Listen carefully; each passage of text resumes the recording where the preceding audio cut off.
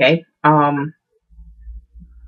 Uh, I guess this counts as a end time prophetic type dream. Um. But pretty much um. This happened either year, maybe two years ago. I really don't remember, but it was like the first time I I'd asked um God for a um. I guess you call it like a spiritual progress report. But anyway, um, so that night I had, it was like a series of dreams. But anyway, so the first dream, I was on the red carpet. I was at this red carpet event. There was a bunch of celebrities there. I don't know what it was, movie awards or what, but I was there and, um, I was with my escort, which I don't know who this guy was, but in the dream, he's my escort. But um, anyway, so we were walking down the red carpet, and um, he started asking me questions about voodoo, and I don't know much about voodoo other than what I've read, which pretty much what I told him. And um, so anyway, he was like, "Well, there's this guy I want you to meet, and um, he's just gonna see what kind of spirit you have." So I was like, you know, whatever. So um, anyway, he took me to this back room, and there was like this I don't know if he's African or Haitian, but uh, dark skinned man. He had um his face was painted like he had his whole um voodoo get up on, and like he even had like this this outrageous headdress. But um he had a bowl in his hand, and like um he was mixing something something white with like cocaine.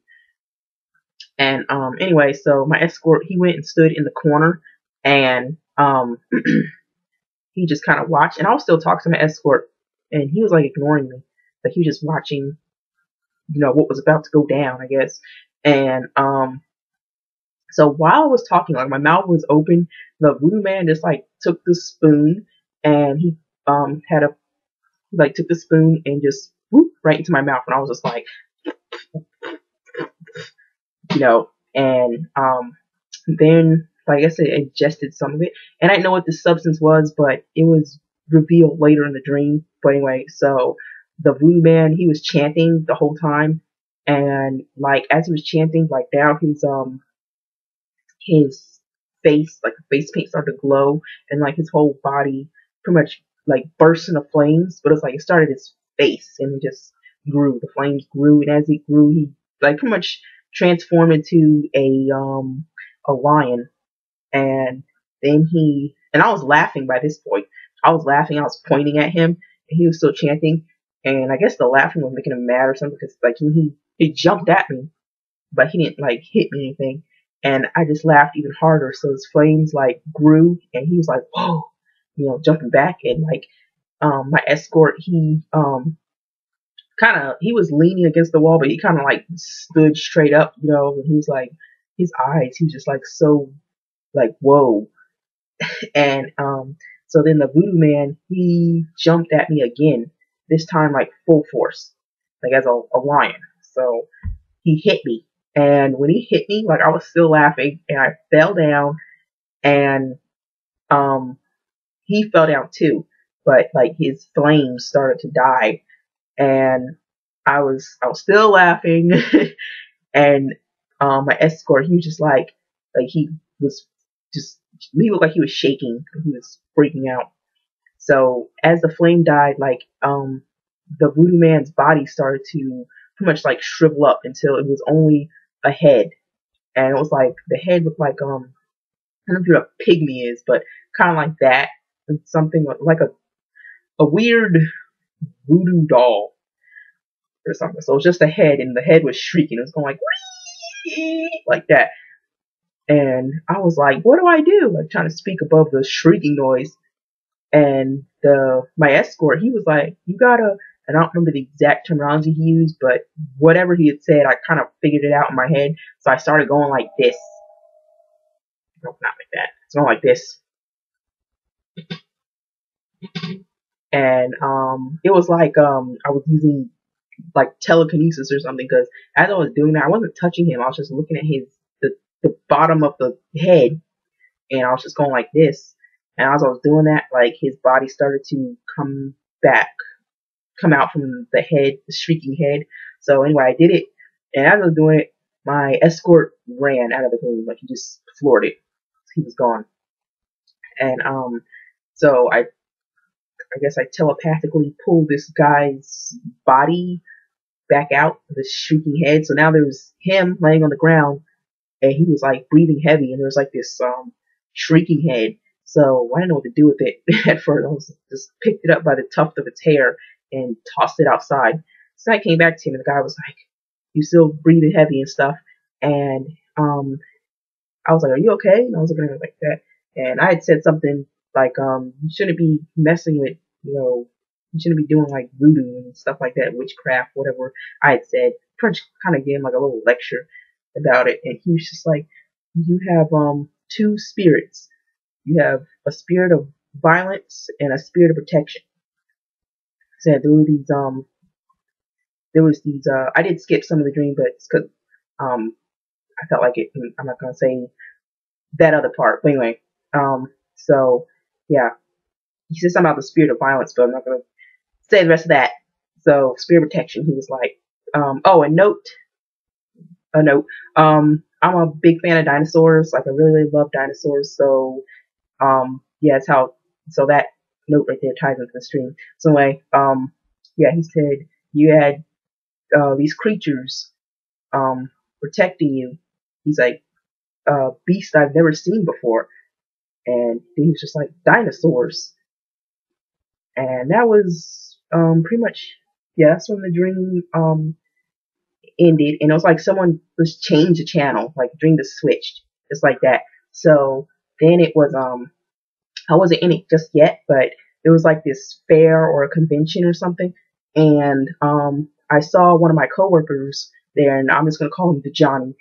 And um, the Johnny was at this booth, and he was arguing with a woman. She was like dressed in like a blue outfit, kind of like um a flighter, a flight attendant outfit, kind of. And um, yes, they're arguing back and forth. And he was like, absolutely not. Like he was walking from the booth, and that's when I was um, that's when I was coming into the dream or whatever, or I was walking up to him, and I was like, you know, hey, Johnny, what's going on? he was just mad, and I was like, and he was like, um, pretty much, um, he was saying that there was um that that lady at the booth, she was like a Nazi, pretty much, and um, she was like, I guess the head of some sort of uh Nazi club that was going to be um implemented into the school system. And he was like, he didn't want to take his kids to a school that, you know, was like pro-Nazi and stuff. So, um, right after that dream, like it switched and, um, it was like, I wasn't physically there, but I saw like, it, it must have been Walmart. It had to have been Walmart. But, um, it was the interior of a store and there was, um, two guys. I don't know who they were, but one was black and one was white, and they both did the Hitler salute. And I mean, that was weird. And then the dream just switched to me, and I was um, I was down this like um, labyrinth of um, like I don't know if you ever been to an underground mall, but um, it was like that. Like it wasn't like people were you know hiding from someone. They were just you know casually walking around, in these um, underground tunnels. And um, excuse me. So anyway, um, I was in this labyrinth, and I was like right by the bathroom section. So I was in, I was actually in the bathrooms, and I was like jumping out from the entrance of the bathroom out into the crowd, like trying to scare people for some strange reason.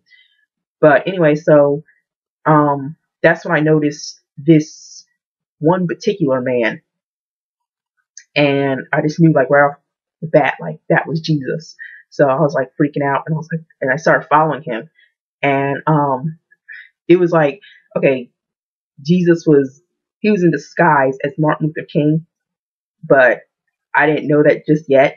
So, oh, I forgot to say what, um, that substance was in the bowl. But anyway, uh, the substance that was in the bowl, the white stuff, it wasn't cocaine. It was, um, crushed human skull. So yeah.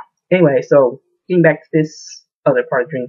Um, so yeah, I'm following Jesus, and like I started um telling people, I was like, Jesus here, Jesus here, you know.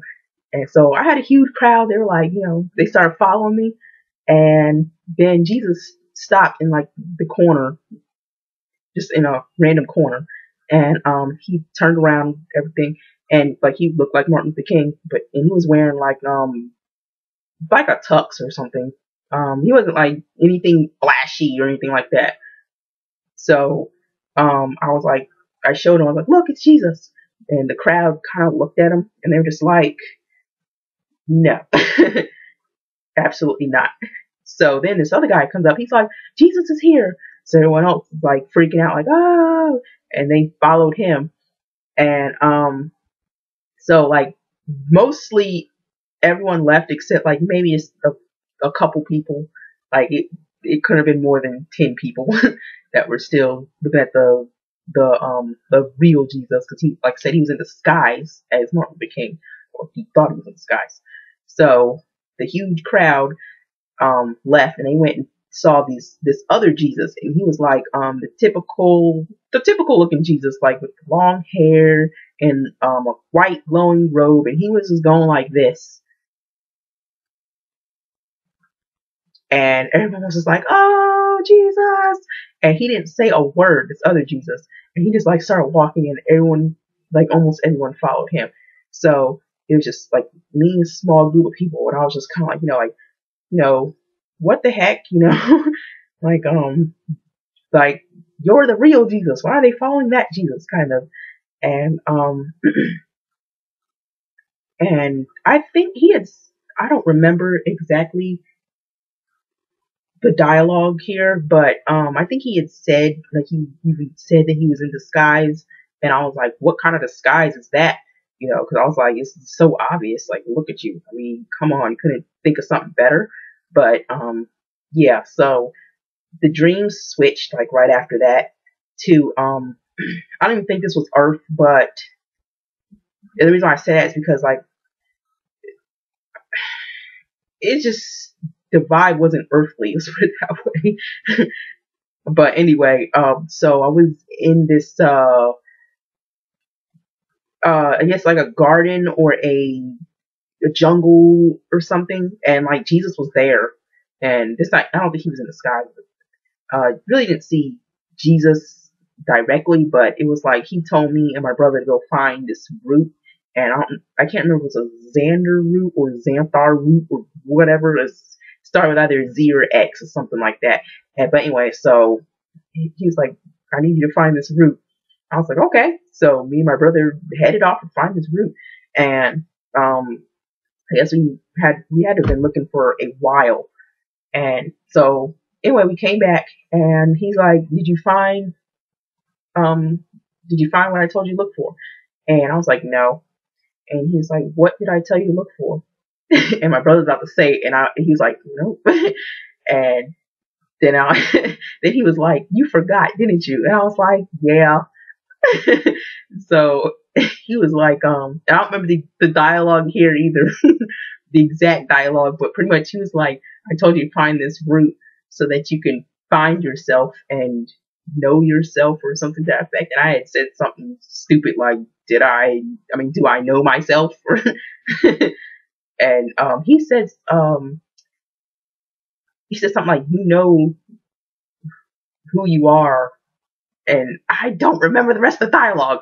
Uh, but um, yeah, so that was the end of that dream. But then I had a follow up dream like recently, and um, I guess I'll um post another video.